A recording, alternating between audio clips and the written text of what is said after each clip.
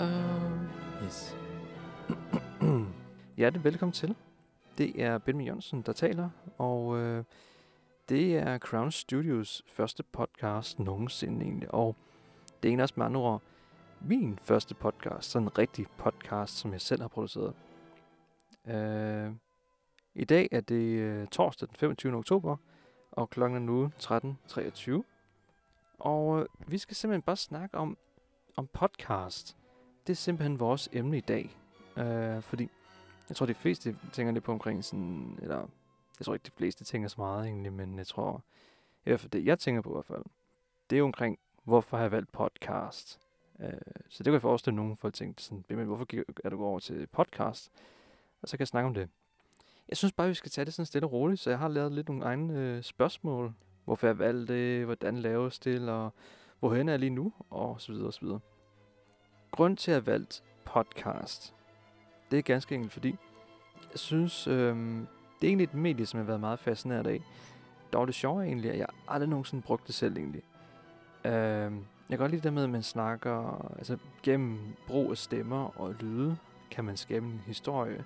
Og egentlig skal man tænke stadig lidt de samme ting, som hvis man lavede en øh, almindelig videoproduktion have det så anderledes, så skal du skabe billede i, øh, i folks hoveder, eller din kære lytters øh, hoveder.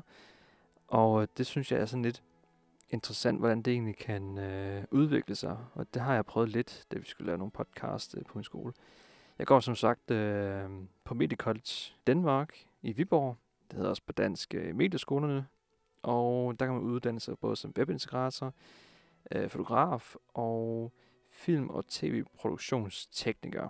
Jeg begyndte her i august måned, og øh, ja, som sagt, det er oktober, så jeg har været rigtig meget godt i gang.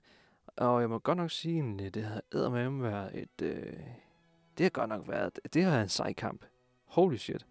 Man skal virkelig arbejde, og man skal virkelig... Øh, jeg tror næppe, jeg har gået i en skole, hvor jeg virkelig har følt mig så levende, kan man sige. Altså, hvor man rent faktisk kan mærke, at man virkelig får pulsen op, og rent faktisk laver noget. Det, det slår virkelig gymnasiet på mange måder egentlig, og lidt nogle af de ting, nu har jeg prøvet meget, meget lidt, sådan to uger til næsten fire ugers øh, da jeg engang prøvede at studere til øh, Aarhus Universitet, hvor jeg engang prøvede at læse til sociologi. Altså det her, det slår det hele i hvert fald. Men det er også fordi, det er jo en erhvervsuddannelse, ikke? og jeg tror bare også, det er det, der gør erhvervsuddannelser så satans fascinerende, ikke? fordi det er en helt anden approach, man tager, når man går på sådan en uddannelse, i forhold til det lidt mere, altså nu, synes jeg, nu tager jeg det kun fra mit eget perspektiv, ikke? Det lidt mere røvsyge, øh, bogkloge øh, uddannelse, man kan tage. Så det er meget fedt at tage noget, hvor man ligesom ja, kommer ud i feltet. Lidt mere praktisk. Altså få hænderne ned i mulden, som man vil sige, tror jeg. Øh, og så tager man den derfra. Som sagt, ja, hvorfor øh, ved det podcast? Jeg har nævnt, det er en fantastisk medie, men det, jeg synes, der gør mediet så interessant, det er jo egentlig, at øh, du kan faktisk mange flere ting men podcast, altså som lytter, end du kan, hvis det er YouTube. Og jeg laver pt. YouTube-videoer. Øh, der er ikke rigtig andre steder, jeg kan smide det hen. Men der er en vis frihed, en podcast giver til lytteren, har jeg mærke til. Altså, jeg kan godt lide at stryge skjorter blandt andet. Problemet er bare lidt, hvis jeg ser en video, så er jeg tvunget til at holde øje med, hvad der sker på billedet. Og så samtidig skal jeg også øh, sørge for, at jeg ikke brænder min skjorte i stykker, hvis jeg sådan lige bliver grebet af det, af hvad der sker på øh, videoen. Så det, jeg kan godt lide, at det er meget mere mobilt nu har du jo næsten hele verden i din, øh, i din egen hånd, ikke?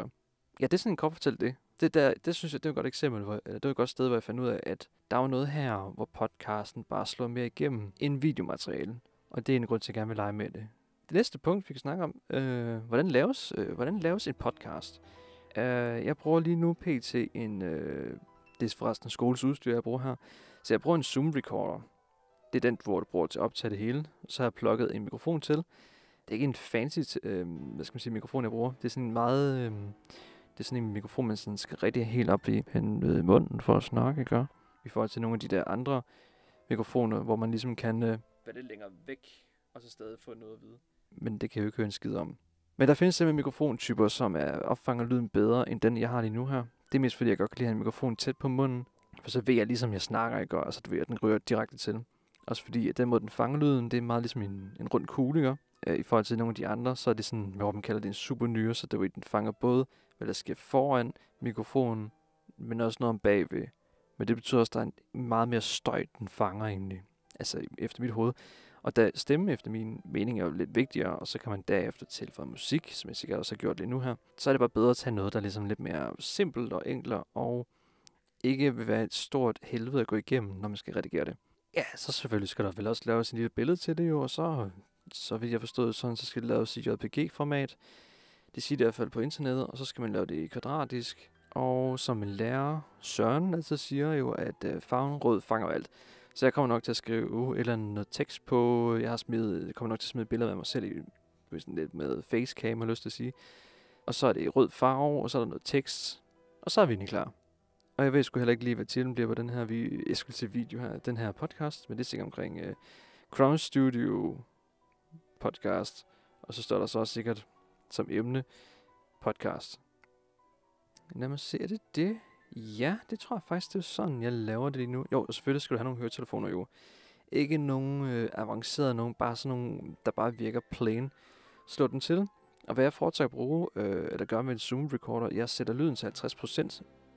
Fordi så kan, jeg ved jeg i hvert fald, hvis jeg kan høre allerede nu, hvad jeg hører, altså du i mine øretelefoner, hvordan sådan, altså min stemme relativt gør, så kan jeg både holde øje med, at den ikke piker over om de minus 4. Altså, det er mere teknisk end mere, altså, der er mere teknik bagved, men pointen er bare omkring, at så kan jeg både se, at hvis min stemme piker for højt, øh, så det vil sige, at det bliver generende for dine ører, øh, eller det er for lavt, for at se, så er jeg i hvert fald sikker på, at det jeg hører lige nu her, det svarer til det, I kan høre som ser, eller lytter, hedder det så mere rigtigt.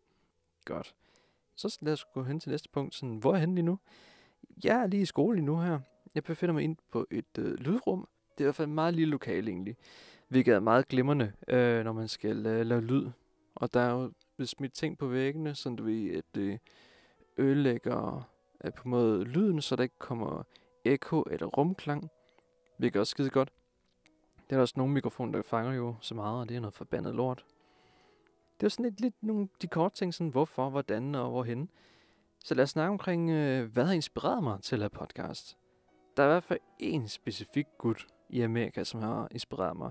Jeg ved ikke, hvad navnet er på ham, men han bliver kaldt for The Review Bra. Men øh, hans kanal hedder jo The Report of the Week. Det hedder det i hvert fald lige nu her, PT 2018. Uh, the Report of the Week. Og man kan finde ham på SoundCloud, øh, hvis man søger på, Øh, hvad det skrev, V-O-R-W, Radio International. Uh, han laver nemlig også radioprogrammer. Men jeg synes, han er bare helt fantastisk, ham der, The Review Bra.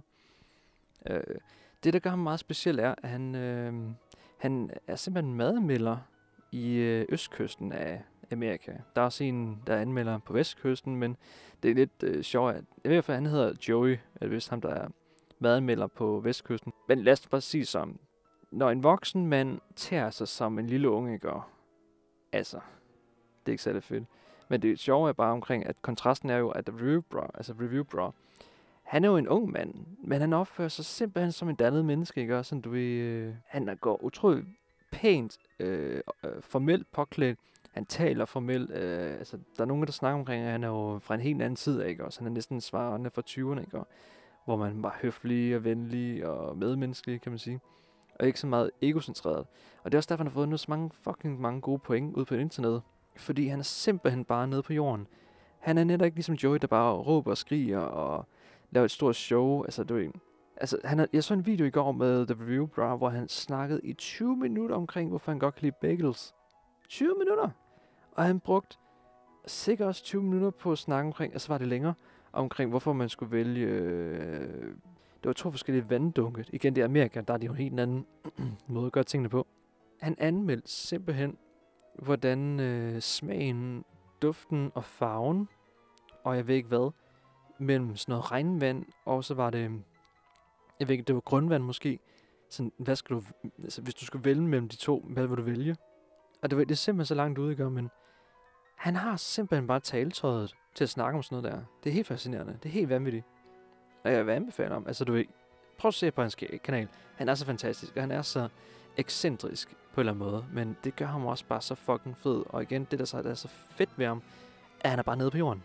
Det er så fedt. Nu skal jeg nok øh, stoppe nu med at snakke mere. Så mit spørgsmål til mig selv er jo, vil jeg lave podcast igen? Og der vil jeg nok sige ja. Hvorfor? Jeg synes, det er sjovt. Jeg ser um, utrolig meget potentiale i det her, øh, og det er en helt anden måde at fange folk på jo. Når det er sagt, øh, så vil jeg sige tusind mange tak, for at du lyttede med. Og øh, det var som sagt Benjamin Jørgensen, jeg er jeres vært. Og øh, det var jo Crown Studios første podcast, og også min egen personlige første podcast at lave. Jeg glæder mig rigtig meget til at øh, prøve igen. Vi ses bare igen til næste gang så. Øh, ja. Bye.